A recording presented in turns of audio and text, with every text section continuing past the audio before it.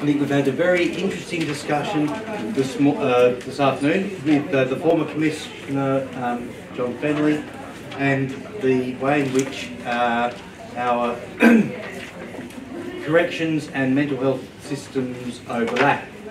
Um, we didn't drill down too far into the specific incidences of um, receiving mental health treatment in uh, uh, prison and certainly there is some scuttlebutt to the effect that you can receive far more effective um, treatment or at least far greater access to mental health treatment once you are deprived of your liberty and committed to a correctional facility. Now, whether or not that is in fact correct, uh, I would say is somewhat debatable, but certainly there are people who are receiving mental health treatment in prison, whether they are in the general system or in our forensic hospitals. Um, and there are legislative provisions which relate to the rights of carers under the Mental Health Act that have some relevance to what goes on in a jail sometimes and sometimes not. And it's a very murky area. So this is why we felt that given that we are preparing to provide input into the review of the Forensic Provisions, Mental Health Forensic Provisions Act, we're good to inform ourselves and other carers about some of the details how that works. For that reason, we asked the official visitors if they could provide us with a speaker uh, of someone who has a perspective looking at how those systems actually mesh together or don't quite mesh together effectively. And they have provided us with Meryl Edwards, a very experienced official visitor, and we're very grateful to have her here today. Meryl has been an official visitor for about 14 years and is also an official visitor under the Drug and Alcohol Treatment Act. Working in mental health and becoming an OV is in fact her third career. She started out in journalism and communications, then after an MBA has moved into New South Wales Health Planning and Policy Department, then on retirement became a consultant and an official visitor. And as with everyone here today, she continues to support family and friends with mental health issues. So I'd like you to make Meryl Edwards very welcome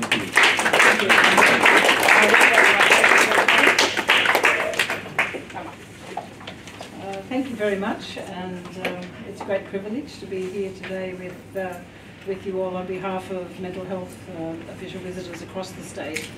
And uh, so I thought I'd talk by um, uh, about the Act and what official visitors are and what we do and why we're here. So there may be um, some surprise at what powers we have and there may be some disappointment about some powers that we don't have, particularly in the forensic context. So uh, they're not appointed under the um, Forensic Provisions Act, but under the Mental Health Act itself. And you'd probably be aware there are other official visitors as well. There are um, community official visitors who support people with intellectual disabilities, and there are, of course, prison official visitors. And we do occasionally have contact with those other organisations. And we do also sometimes communicate with uh, the official visitors in other states. And so every state now does have mental health official visitors. South Australia was the last to come on board a few years back, um, but it's quite a venerable institution and uh, we were established in New South Wales under one of the first pieces of legislation in about 1847, uh, building on the English model. And it, it, came about as a result of the terrible um, conditions in institutions there, um, where not people with mental illness only, but all manner of people were confined in terrible conditions. And uh, so some, uh, what would you say, uh, philanthropic citizens uh, pr applied pressure to have a doctor and a magistrate given the power to enter these institutions and they could in fact um, uh, release somebody if they thought that they were being wrongfully held there. So things have changed. We've got the Mental Health Review Tribunal these days and official visitors might have a background um, in a clinical area such as psychology or nursing or social work, or they might be um, have a background as um, a consumer who's well, a carer, or somebody like myself who's worked in mental health service provision. So there's a lot of diversity.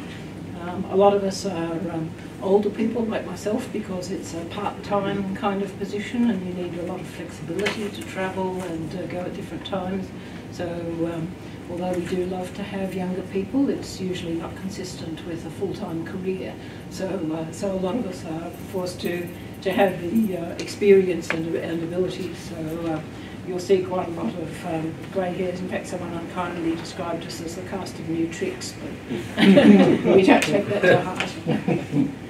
Uh, am I pressing right Should be the right. Oh, yes? No? Going the wrong way. Hold on a second. Let's go back the other way. Let me put it back on the slideshow. It should be the. Oh, Um, press the wrong one, yeah, it should be the right button to go right, and if you want to go back, to the left. Yeah. Okay, so this is what the Act says we're for. So I just thought I'd put that up there so you could see.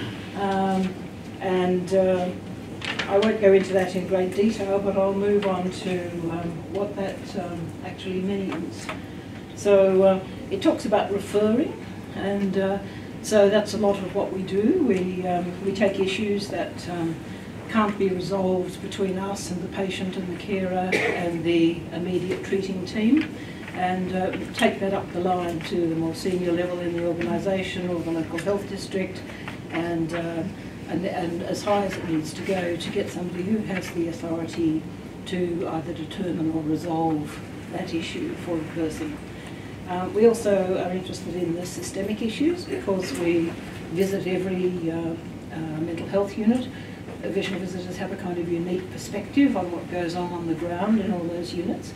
And so, and obviously we confer from time to time, and we might become aware that there's an issue, for example, with um, the way ECT is administered, that there aren't proper protocols or there are particular issues.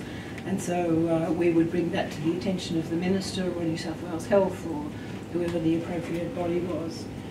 Um, advocacy is very important and uh, specifically mentioned in the Act, something that official visitors should be doing. Um, and so we do that both um, in terms of individuals. So if a patient um, asks us about something, tells us something, raises an issue, or if we observe something, we can advocate for that patient. And similarly, if a carer brings it to our attention. Uh, we can also join other voices in improving the health system, such as Carers New South Wales, to, um, to bring about changes, possibly legislative changes as well. Um, and we usually, um, as an organisation, uh, put in submissions if there's a review of legislation or something like that going on. Uh, the other part of what we're supposed to do is inspect.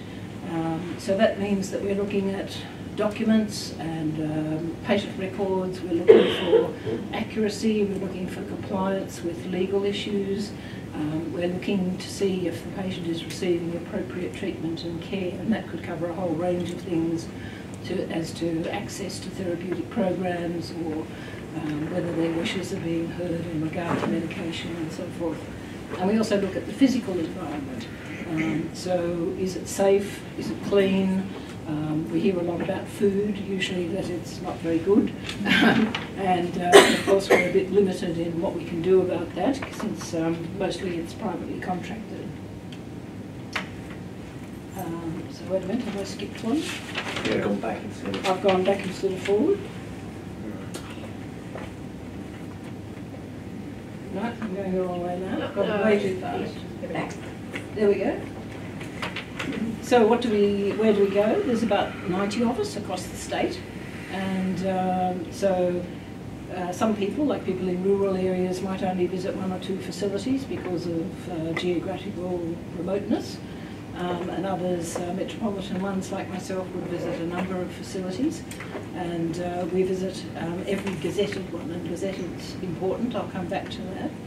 So it's public and private, it's community for patients who are on community treatment orders, um, inpatients, emergency departments, because they're now gazetted as well, most, not all of them, but most of them, and, uh, and the PEC units. And official visitors um, coming closer to our concerns today visit forensic patients. And so uh, I'm a forensic official visitor myself. And uh, so uh, we visit the units at Long Bay, um, the aged care unit and EF and G. We visit all the units in the forensic hospital there that's co-located. And we also see uh, forensic patients in other facilities in the medium secure setting, so like Cumberland, Morisset and Bloomfield, and, uh, and sometimes at other places like Quarry they may have a forensic patient. Um, so we don't visit Silverwater, and there's quite sometimes quite a lot of issues that arise between patients that have been in Silverwater and come to the forensic hospital or whatever. But Silverwater is not a gazetted facility, and so we have no authority to visit there. Now, we'll get the arrow going in the right direction. So, this is um, what the Act says that we should be doing, and um, I'll come on to the bit later with uh, the reporting, because the reporting is an important part of what we do. No, I've gone the wrong way again. Yeah. So we talked about the inspecting and that patients have a lot of concern with their environment naturally because they're stuck in hospital, it's, it's boring. Um, carers also have a lot of issues with the situation they find themselves in. So if the TV breaks down, for example, it always seems to take forever for, the, for anything to be done to fix those sorts of things, and yet it's a lifeline to the patients to uh, have some communication with the outside world and have some diversion and entertainment, you know. Um, so uh, sometimes the furniture is really shabby, torn, damaged, you know. So um, a lot of those things we can push hard on those, and you know we're often told, oh, we put in an order, but you know that was six months ago, and the maintenance hasn't been done, whatever. So that's a situation where we would escalate that up the line. Um, our most important thing in terms of the inquiring, obviously, is is to listen to patients, and so that's usually um, a typical visit. We'd arrive, we'd check in with the nurse unit manager, make sure that um, the, uh, the unit is functioning, if there's anything in particular that they need to tell us before we do the visit, and we talk to patients. We look at the incident reports to uh, see if the, what's been going on, how incidents were dealt with, um, and particularly we also look at uh, the involvement of carers in the, in the care of people and make sure that they have a current carer for on their file, whether it's electronic or otherwise. And uh, we talk about the issues. We look a lot at programs to uh, as to whether the people are actually being provided with something which will help them to get well, rather than just being locked up for a long time. And the forensic hospital has um, a certain number of programs um, in um, the Long Bay area, less less so, and, and of great concern is to us there is how long people stay locked in their cells every day, which is hardly therapeutic uh, and we observe. So that means that we ask a lot of questions of the staff, which may or may not be well received, and we make comments, and we provide a report um, each month after our visit to the staff. And the staff, um, you know, it may not just be the nurse unit manager, it might concern the social worker or a senior manager um, or the consultant as to what it is that we're observing or questioning and, uh, and they are obliged to reply to us um, and uh, satisfy us that um, we don't need to investigate or take it further, or if we do, um, take it up with somebody higher up in the system. And that report that we do each month goes to the principal official visitor, um, along with some other observations that we might make about issues uh, relating to that facility um, or about a particular patient's situation and, uh, and if necessary, those issues are escalated to the Minister if, it, if it's an individual one. In a generic way, the Principal Official Visitor meets with the Minister regularly, so we've got a relatively new Minister, as you all know. And uh, so our Principal Official Visitor, Karen Lenihan, uh, arranges meetings with her about every quarter and talks about what it is that we're seeing in the system where we think um, issues lie and what might be done to resolve them. So we do have that direct line to the Minister. Uh, we also have regular meetings with um, New South Wales Health about um, matters that concern uh, the health system, uh, guidelines and policies that health might need to put out, uh, observations about whether, for example, uh, a new policy like seclusion and restraint is being um, implemented correctly, whether staff are familiar with it, um, whether they have easy access to it, because a lot of it now being um, electronically provided, it's always interesting to ask staff um, if they know about such such policy, they may well say yes, and then if you ask them to show you the policy um, in their own system, they can't locate it. Um, so there's, there's a lot of um, education needed for staff. So, um, carers, well, um, you all know about that. Uh, the, the Mental Health Act specifically provides for a relationship between official visitors and carers. And the, the um, you, you know all that information about principal care providers and designated carers, I'm sure. So we look to see who the carers are we look.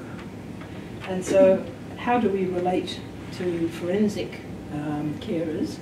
Well, generally it's over the phone. It's great when we happen to meet someone when we're visiting the forensic hospital, but it's quite rare, I have to say, that we would uh, be there at the time that somebody is visiting someone. And, uh, and also, I have to say, it doesn't seem that visits are all that common in the forensic hospital either, and I can understand that in a way because it's such a performance to, um, to get in to visit someone. Um, we really like meeting carers if we go to a special event there, like Mental Health Week or NAIDOC, which I say I spelt wrongly. we, um, and we also, um, I don't know how many of you would know Erica Balance. Uh, she's the uh, family and carer consultant at the Forensic Hospital. She's great and she always um, buttonholes us and tells us um, all the latest things when we see her. Um, so the main thing is um, the lifeline between us and you um, is the phone line. And so I don't know how many of you are aware that the phone line exists, but that's the way to get in touch with someone and, uh, and to talk to us about what it is that is concerning you and to see if there's something that we can assist with or advocate for. So um, the Act provides to, um, for us to talk to you, and so it, um, you can you can ask to see us. You can do that through the facility if you want to, but it's it's probably just easier to ring the phone line and take it from there. We will check to see if you're a designated carer, and that becomes relevant in the light of the next part, which I've gone too far again. Um, what have I missed here? Missed one which I think. Um, well, just speak. So the, the best thing is, is that if somebody um, uh, rings us on the phone line, as they do, and they say, I'm, um, you know, uh, Fred Smith and uh, my relative uh, Joan Smith is in such and such a situation and this is what I'm concerned about, can you help? Um, we'll listen to what that person has to say, but we will ask them um, as to whether they, they are the designated care of the person and they may say yes or no. If they say no, then we will explain that um, we can't provide them with any information about the patient, um, but we can hear their concerns and we can pursue them, but we can't tell them the result of that inquiry. Um, if they say yes, they are a carer, we say fine, we'll look into it, and we do check with the facility then to see if in fact that is the truth, that they are, we get the staff to check to see whether that person is, is a designated carer, because otherwise we would be breaching the confidentiality of the patient if we provided that information. So it's not out of bounds for people to ask. Do you hear much from principal care providers nominated by the treating team? Where a person lacks capacity or Not so much. I mean, it's, it's um, occasionally, but, but it's mostly the designated carer. Um, and it's quite common for the person to not have that legal status at all, but to be a concerned friend or something like that. Um, we value those calls because it often gives us an insight as to what's happening with the patient. Um, but, um, but as I say, we can't feed, feed back to the person, but we certainly appreciate, you know, any information that they're given that help us to assist the, uh, the patient. So, uh, so no, not, not usually. It's, it's um, I, we do encounter that. So some of the things that um, we have worried about um, in recent times, obviously least restrictive care. I mentioned at the time that um, patients are kept in their cells in, the, in Long Bay.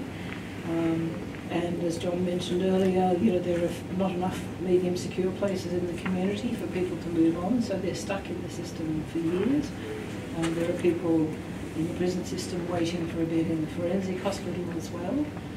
Um, it's particularly a problem for uh, at the forensic hospital for the women um, who are in the same unit for the duration of their stay. The men have the possibility of moving through a range of units. Um, while they're in the forensic hospital, but the women know there's nowhere for them to go, so they're stuck in the same one for a very long time before they get a place.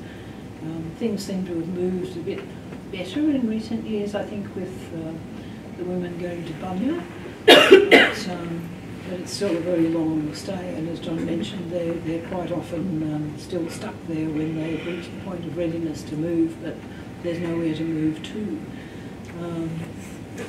The uh, seclusion practices are of a concern sometimes. You know, there are some uh, some violent incidents, um, and uh, the result the, uh, the resulting seclusions can be very detrimental to the patient's mental health. And some patients at forensic hospital have been in seclusion for a long time, and so we've certainly advocated for them very strenuously over the years for alternatives um, one of the things I know that the Forensic Hospital did was to engage the Project AIR consultants um, to assist the staff to um, be perhaps more empathetic, to manage situations a bit better so that um, they don't necessarily result in a, conclu- in a seclusion. And they've looked at some other uh, practices as well. Um, access to education and computers, again for people in the uh, forensic system, uh, they get quite out of touch with technological advances and it's very difficult and sometimes quite um, confronting for them to uh, have to deal with something as simple as ATM transactions. Um, and so we're always advocating for access to um, education um, and also computer, just general computer use for, uh, for patients. And I know again that uh, Justice Health is looking at a, a, secure system which will address their concerns about um, internet privacy and security, but will still enable the, uh, the patients to, to use computers. Uh, a lot of people find themselves in the justice health system and uh, they may come from a non-English speaking background and so they struggle with communication daily. Um, there's very little offered in general for them to learn to speak English. Um, and there's also, um, I've said literary, but I actually mean literacy courses because uh, some of the patients um, uh, struggle even with, uh, with reading and writing, and there's very minimal provision of those things. Um, we also, um, there's also all, all, sorts of issues around financial matters. some patients have a, a, a public uh, trustee arrangement um, but there's been all sorts of contentious things, as I'm sure carers would have heard, about patients having to pay for their accommodation and having a very minimal amount of money left to provide for their personal needs after that uh, money. I think it's about 85% that is taken. Um, and uh, lastly, and very definitely not least, we've been arguing for something like Skype for um, patients and carers who are um, a long way apart, who can't travel, to be able to communicate. Um, Skype wasn't a goer in their view because it wasn't secure, but they're looking at Pexip. I don't know how many of you know, but it's like Skype, that, it, you go through a portal that is secure. And they've actually, at the forensic hospital, had uh, their first few interviews using Pexip, which is great. Um, so hopefully there'll be uh, there'll be more of that for people. So um, so that's basically um, the kinds of things that we do. I'm happy, happy to discuss issues that uh, patients raise and issues that carers raise and encourage you all please to um, make use of our phone line number um, whenever you feel the need to, um, to talk to someone about your situation and lots of support might be available. So I was just going to ask a, a general question about yeah. um, the access of carers to consumers while they're in. Mm -hmm the corrections and whether there's a difference between that access when they're in the forensic hospital as opposed to a, a general correctional facility. And also, are carers engaged at all in any planning around the discharge of the person? Um, I think the answer is definitely yes to the second one. Yeah. From what I can see with, uh, certainly with the forensic hospital and also uh, with the prison, there's a lot of planning obviously around discharge for security reasons, if uh, not for humanitarian ones. Mm. And so, uh, yes, I do see carers being involved in discharge planning uh, in terms of the documents that we see and what we're told by, by patients. Access to patients, I'm not so sure about Long Bay. I have visited there, um, and I know they have restrictions on visiting hours and what you can take in and all the rest of it. It's the same at the forensic hospital. It's quite a performance for a carer to visit in either facility.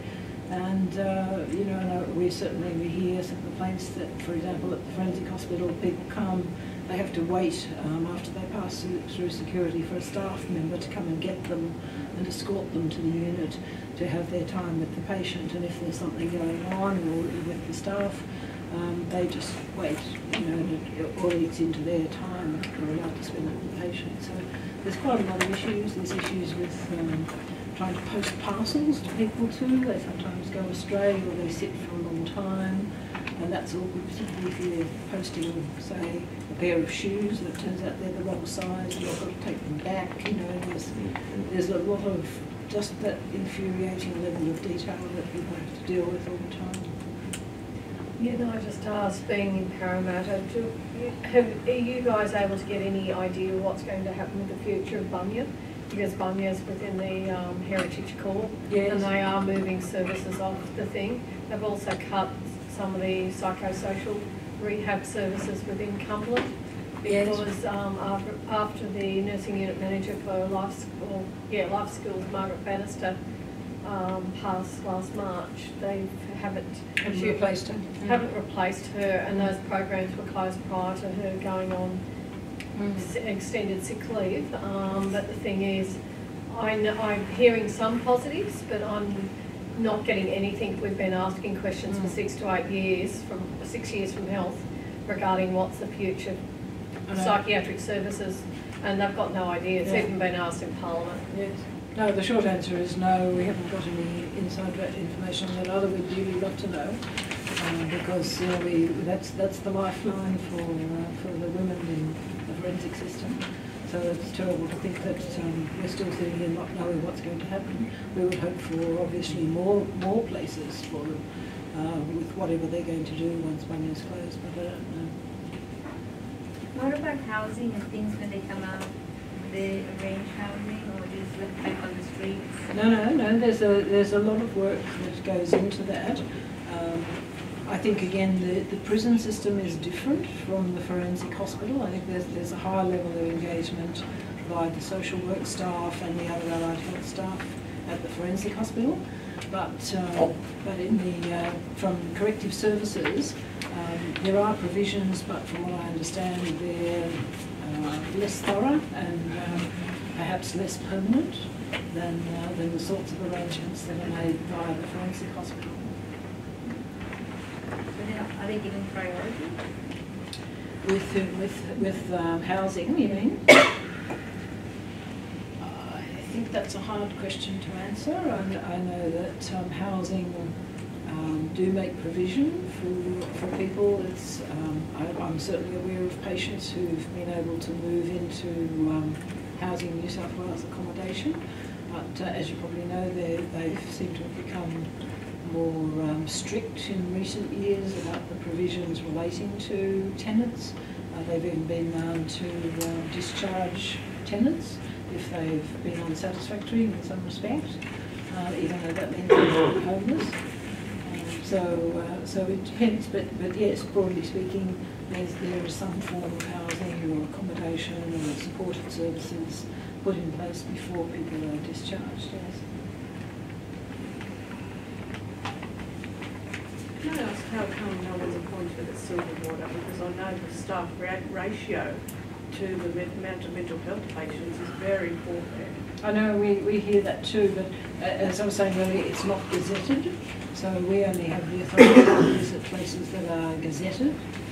Um, you know, meaning that there's been a, basically comes down to New South Wales Health um, who look at the situation regarding a particular unit and they decide that yes, it should be gazetted, which has certain rights and responsibilities for that organisation under the Mental Health Act. And so, for example, it's, it's relatively recent that emergency departments were gazetted, and that caused a lot of angst amongst emergency department staff to have official visitors coming into ED because they said we'd get in the way and we'd cause accidents or we'd be attacked or we wouldn't know what was going on and so forth. And so that's all settled down, but that's, oh, I can't remember, maybe five years or so ago, I think, that um, EDs were gazetted.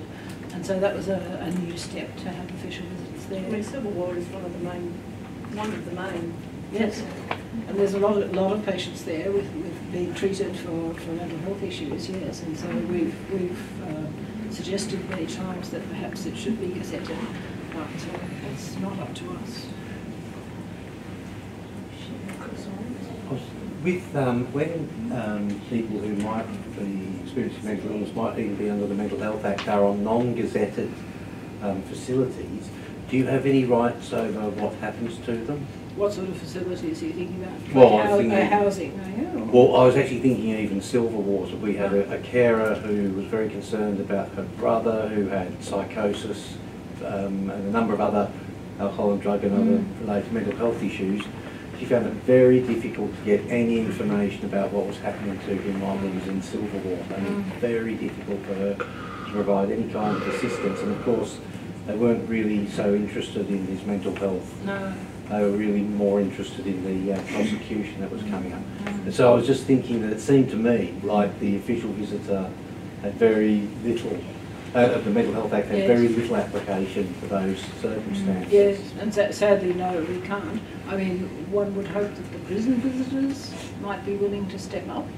Um, we, we have had liaison with them and uh, they, I think about two years ago, we had a meeting with their new inspector, I think she's called. Um, and so uh, what prison visitors do is, is somewhat different from what we do, but there's absolutely no reason why they couldn't take up issues of mental health and perhaps they should be approached to assist. You know. But unfortunately, in the case of Silverwater, we can't. Uh, Mhm. Um, I was wondering, can you do any um, advocacy for uh, setting up a system where there's autism screening, mental, you know, wi- within the system? within the forensic system? Yes, to have that screening process take place. I mean, it should be a part of the person's mental health assessment when they're but it's not, you know, it's, it's all very general. When my son was in, in Silverwater, Right. you know, I was told things like, uh, listen, lady, you've got a thousand inmates here, your son will be seeing whenever. Right. And it is very difficult, as Jo- um, Jonathan was saying, it's very difficult to get through to anyone who knows anything or willing to say anything. Yes. And it's like, within the system, you, when you're in there, apparently you put a piece of paper in and someone will come and see you in a few months, maybe. Mm. I think, yeah, I mean, I think from what I hear, there's a lot of issues around that sort of level of care at Silverwater. I mean, for example, with the adolescent unit in the forensic hospital, they all have a thorough psychiatric assessment which would include autism and certainly um, Yeah. I see patients there who um, do have a diagnosis, diagnosis of autism. Um, So how could we set it up? How could we actually change this? So that, you know, who is going to do this?